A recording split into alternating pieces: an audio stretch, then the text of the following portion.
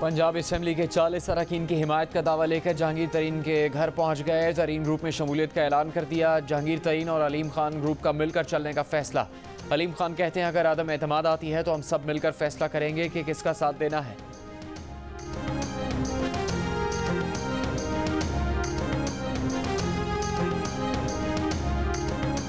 Governor Sindh Imran Ismail की लाहौर में अलीम खान से मुलाकात। मीडिया से गुफ्तु में इमरान इसमाइल ने कहा कि अलीम खान को पंजाब की तर्ज हुकूमत पर तहफात हैं।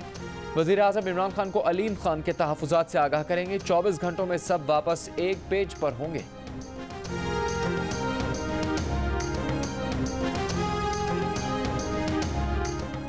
बिलावल भुट्टो जरदारी ने इमरान खान को 24 घंटे में इस्तीफा देने का अल्टीमेटम दे दिया। कहा, इमरान खान में हिम्मत है तो 24 घंटे में असम्बली तोड़ें और नए इलेक्शन में हमारा मुकाबला करें।